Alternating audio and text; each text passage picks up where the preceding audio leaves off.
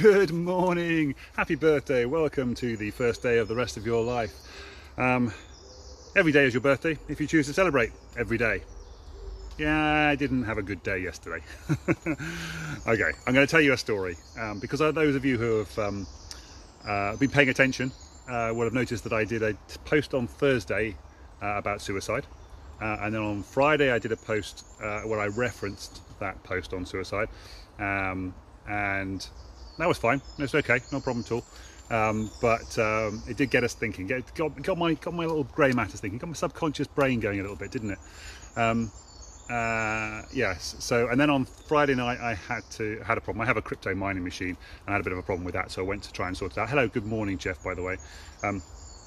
We're going to come on to the birthdays in a minute because there's a lot of them, a lot of people to say happy birthday to uh, because I haven't done this since Friday. Um, but uh, we'll get on to that in a second. So yeah, so I had a crypto mining machine. I had a little bit of a problem with that on Friday night, so I was working on that late. Uh, so that meant I woke, up uh, late on Saturday morning, and then there was a huge day of sport on Saturday, wasn't there? um, yeah, so there was a whole Wimbledon thing. There was a Grand Prix qualifying. There was a cricket match on. Uh, there was the Tour de France. Um, and then of course there was the uh, I think the England football match was on Saturday night, wasn't it? I think it was Saturday night. Anyway, so um, um, uh, anyway, uh, and so yeah, so that was Saturday just gone, basically gone completely. And I woke up Saturday morning, and of course I don't do these things on normally on Sunday morning, so that was fine. Uh, and then we got to Sunday night, um, and on Sunday night, um, the film Yesterday came on BBC One at 8:15, um, and I'd heard good stories about this, and I thought, oh, this is going to be a really good good movie and uh, so I thought, oh, this is good. And my mum and dad were there, and I just said, oh, this is a good movie. Apparently, this is a really good movie. Uh, and I mentioned to dad what it was about. It's basically something happens, and suddenly the whole world forgets that the Beatles ever ever existed. Interesting fact, though, if you've ever watched the movie, um, Coca-Cola also doesn't exist. Harry Potter doesn't already doesn't exist. It's a little bit, little bit of a spoiler alert there, but. Um, but yeah, there's a, there's a number of other things that come up that just don't exist in the new world that this guy's woken up in. I kept on thinking maybe it was a dream and it was therefore going to be a, uh, and he kind of wakes up from it and then he realizes that oh actually he's you know he figures out what's going on in his life. He kind of does. It kind of is a weird little sort of dream thing. Um, but uh, yeah we have to watch the movie to see that. Anyway um, but my dad was very anti watching it and I was like okay fine whatever. Um, um, but then I went upstairs to watch it on my own um, and it really got me thinking uh, and it really just got into my brain. Um, I think a little bit about my dad kind of rejecting the idea of watching it as well kind of got to me a little bit. Um, no offense to him, absolutely not. It's not a movie he wanted to watch, and that's absolutely fine. Um, but I think in my head, because of, because of this ADHD that I've talked about in the past and my rejection sensitive dysmorphia thing, I think I really took that kind of rejection uh, quite personally. Um, didn't realise it at the time because um, I just thought, ah, it's fine, I just go and watch it upstairs, that's all right. Um, and then I watched the whole film, and of course, it's a really sort of really makes you think about your life choices and where you're going in life. Um, if you've ever watched it, um, it's really good. It's not great, um, uh, but it's fun because you've got all these Beatles songs, loads of Beatles songs I'd never heard of as well. So it now makes me want to go and listen to some more Beatles songs because I'm like, is that Beatles? Is that really a Beatles song? Didn't know that. Um, and of course, I kept on thinking, when is he going to do Imagine? But of course, Imagine wasn't a Beatles song. Um, so, so I slight spoiler alert there. I should have said that at the beginning as well. But I might add the uh, spoiler alert into the uh, into the header of this this um, this text. Um, anyway, um, uh, but it came out what 2019. I don't know. Anyway, anyway, it's on BBC iPlayer by the way. If you're in the UK, it's on Netflix as well. So if you want to go and watch it on Netflix or the iPlayer, just go watch it. It's worth watching. Um, it's a cool and clever story. Um, anyway, because um, it really starts to make you think about our reality and life and all that kind of stuff, which is what I'm going to talk about in a little bit, a little bit, um, and so forth. But uh, the ultimate long story of that is I kind of went to bed feeling a bit, what's what's happening with my life? What am I doing with my life? And then I woke up on Monday morning and I was really miserable. I was really like not good. I was in a really dark place on Monday morning when I woke up. Um, I came out for a walk because I know that coming out walking in nature is a good thing for my mental health. Um, didn't fancy running, so I walked. Um, and um, so yeah, so basically all the things that I would teach people who were struggling with depression, I kind of put into place yesterday, Monday. Um, so I came out for a walk in nature. I sat in nature for a little while. Um, I talked to a, I, I talked to a friend, a positive, supportive friend. Luckily, she was available, uh, or she spoke to me actually, and I responded back to her. Um, uh, uh, but I, actually, to be fair, that was a bit of a frustration as well because I sent her a message on Thursday or Friday and I hadn't heard back from her, and then I finally heard back from her on Monday morning. Um, so that was a little bit frustrating, but it was nice. We had a nice little chat while I was sitting on the. Uh, I was lying on that log over there, just looking up at the trees um, on Monday morning and uh, listening to some motivational uh, talks on my on my uh, phone.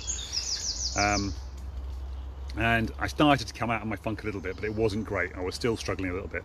Uh, then I went back home, uh, watched a movie, a couple of movies I think I watched in the end, because that's something that I love to do. That's some fun, that's escapism, kind of gets me, it stops my brain from going down the, the spiral, negative spiral thing. Um, and uh, I haven't done the happy birthdays, have I? Never mind. Uh, I'll come back to those in a second. Promise you. Promise you. Uh, happy birthday to all these people. I probably should have said right at the beginning. happy birthday to Steve, Sunita, Heather, Elaine, Sophie, uh, Dan. Come talk about Dan in a minute. Uh, Aleksandra, Melissa, Tina, Ali, Mark, Pauline, Namita, Chrisoula, uh, Amy, Alex, Helen Scotland, Allyn, Hetty, Sarah and Cecilia. Um, Allyn, Hetty and Sarah, Sarah, and Cecilia were all from Saturday, by the way. Uh, Namita, Chrisoula, Amy, Alex, Helen are all from Sunday.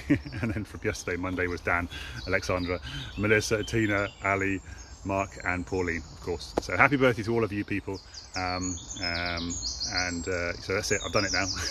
Don't want to waste any more time on that. Um, but I normally do a little happy birthday blowing out candles, mental, mental, mental um, mindset breathing technique. So I did these breathing techniques regular basis yesterday during the day as well.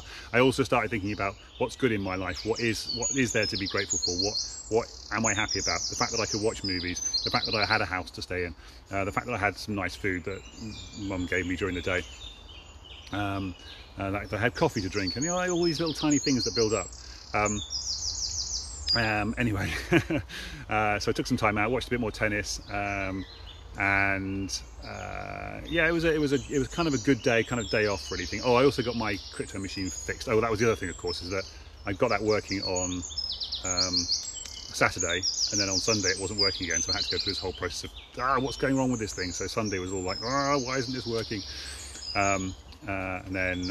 Uh, then on Monday I got it fixing, so I've spent a lot of time sort of trying to work that out as well. So I finally got that working yesterday afternoon. I was like, right, fantastic, that's working again, brilliant. Um, so that made me feel good as well. Um, anyway, so, so I stopped myself from spiraling down, came out into nature, did a little bit of exercise, got some fresh air in my lungs, did some stuff that I loved, spoke to a friend that I enjoyed. These are all part of my 15 pillars. These are parts of my 15 pillars um, of, of, uh, freedom from depression. Um, uh, can't remember what other ones I did. Um, oh, thinking about the gratitude, um, recognizing the voice inside my head that were telling me, "Oh, what's going on? Terrible life. You know, what is going on here? What are you doing with yourself?" And I Stop it, uh, as um, Jill Stanton would say: catch, cancel, correct. Um, catch those negative thoughts, cancel them, and correct them. Um, similar to the uh, version I would say, which is uh, ACE, A C E. Um, become aware, make different choices and put effort into time. But that's really for reprogramming your brain over a long period of time to actually get that um, depression gone completely. Um, but it does come back, as you've seen. This is, you know, I've done this thing for ages and I don't normally struggle from depression. But it, I fell into that yesterday morning, Monday morning, and I was like, oh, I've got to do something about this. I've got to stop it. But here's the point. Because I've got all these tools and techniques, because I've, a couple, a couple of weeks ago, I was talking about uh, training to run, uh, getting yourself ready and prepared um, for the for the upcoming problems. Uh, because I've done all the training, because I've put all the work in, because I've been out in nature on a regular basis, because I've been doing the exercise, um, um, because I've been training my brain for positivity, when I found myself slipping down that slope into negativity and depression, I could get myself out of it. I could I could change the course of the direction of those thoughts.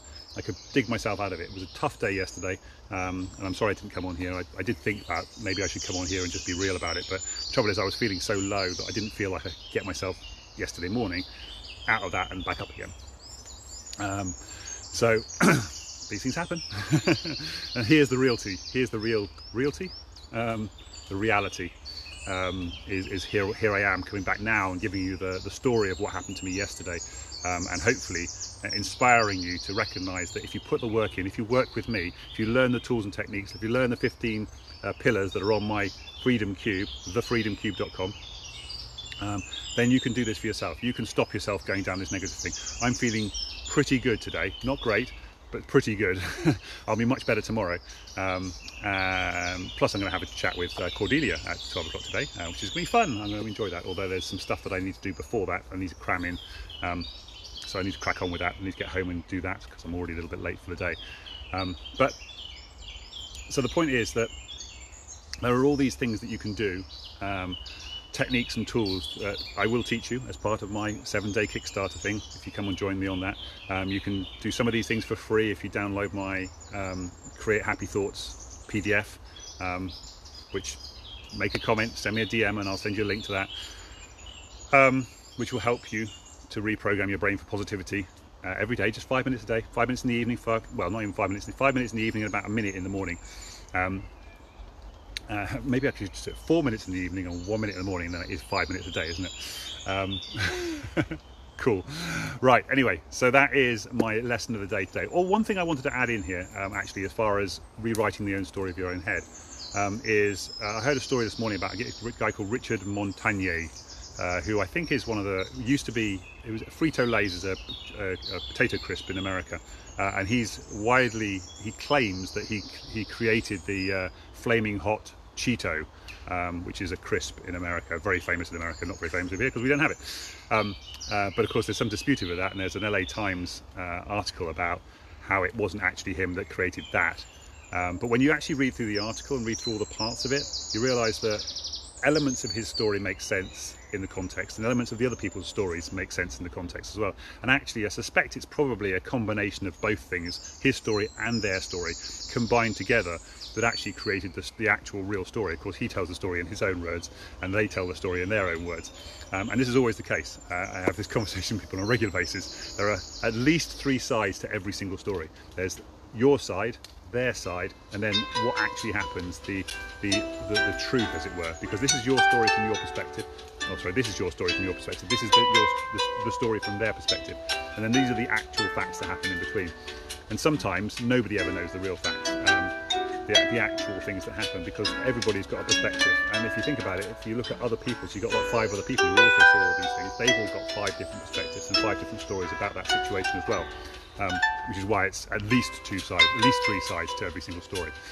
Um, I've got a finger under my ear, don't know how, an alarm, don't know how to stop it. Hold on a second, let me just see if I can stop that. And then we'll say goodbye. Uh, snooze, there you go. Right, that is my 9.30 meditation request, because I'm running late, because all my alarms are out of whack.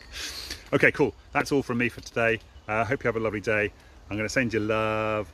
Mm, send you love out into the world. And remember, depression does not need to control you. You can control your depression if you choose to. Yes, not even your depression. It is just a state of mind that you have got yourself into, that you can dig yourself out of, and that you can take control and just delete it completely. Um, with my help, that's what I want to do help. I want to help more people to do that uh, so that they never suffer from depression ever again. And anxiety, by the way. Um, it's basically the same thing. Depression being past, most, mostly based in the past, anxiety being mostly that negativity from the past projected forward into the future. Um, because that's how it works. That's how our brains work. That's what happens inside our heads. So cool. Take care. Love you all. Mwah. Hopefully. assuming nothing horrible happens. Um, I'll see you tomorrow morning. It'll be Wednesday tomorrow, and uh, oh, it'll be quick tomorrow because I've got Wednesday mornings are always a bit busy for me. Anyway, take care. See you later. Bye for now.